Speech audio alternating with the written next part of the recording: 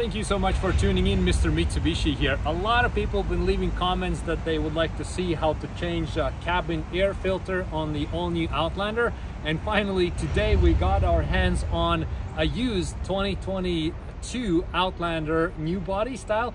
Same process is for any this body style Outlander could be gas or PHEV. So 2022, 23 onwards will have the same air filter same location and same for PHEVs 23 and onwards uh, you get to uh, do this on your car yourself what you want. So i have this air refresh genuine part here. This is listed on my mrmitsubishi.ca website as well. If you want to order one for yourself go and get it there. Free shipping i'll ship it to you. And right now let's have a look where it's it uh, where it's located and how to change it. The cabin air, fil air filter is located uh, behind your glove box. So you what you want to do is you want to literally drop the glove box and then it's super easy to get in and out and remove it. So once you emptied your contents out always make sure like it's empty for you to uh, work on it easier. Then you gotta push this in like this and there's this clip. So both sides you gotta sort of like squeeze the glove box um, a little bit. It's uh, a little bit harder to do because it's plastic but you squeeze it a little bit then you can see there's this clip from one side and clip from the other side. So see? Like this part right here.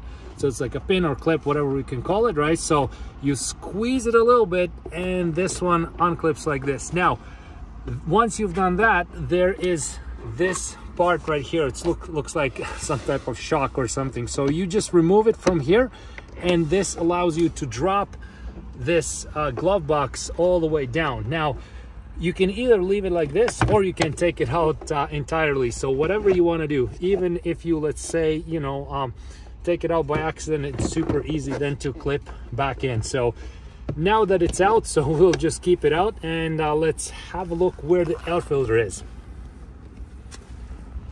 okay this is where the air filter the cabin air filter is located. So once we have the glove box out we can see this uh, plastic cover. And we literally just need to release this pin right here. And then we can take this plastic lid off. And this is where we have the uh, cabin air filter. Now it shows you the way it's put in. You have to put it the same way. So this one here is nissan mitsubishi motors. Don't get uh, scared that it's nissan there. Uh, mitsubishi is aligned with nissan now and this is what we do. So we have the new air filter here made in japan good quality air filter. We take it out. Look how nice and clean it looks. The air is going to be uh, fresher no doubt about it. So then we want to put exactly the same way it was before. So we take the old dirty filter out and we can see the difference. So you should definitely change your air filters once in a while. This is pretty, uh, pretty dramatic. So the old filter out, the new filter in, exactly the same way. And now that's it. So now we just need to put that uh, cover back on like this and it slides we can see it it slides right in here this part and then other one clips. That's it. And now that it's done we just put the glow box back in. And just the same way we took it out so we clip it back in. We put back this uh, I don't know how we're gonna call it, shock or whatever, uh, supportive like rod. Okay, that one is back on. And we literally just slide it back in like this. That's it. It's closed now. You can open and close it. We've done a great job. So let's have a look at the uh, dirty air filter again. You definitely want to change these, uh, you know, once or twice a year. Don't let this happen. I don't think this air filter was uh, changed before.